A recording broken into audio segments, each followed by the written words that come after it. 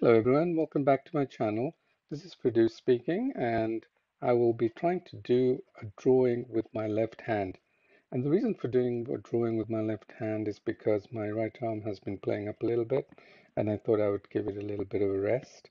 And so I thought I'd turn this into a, a challenge and attempt to do a drawing each day. So wish me luck and here goes.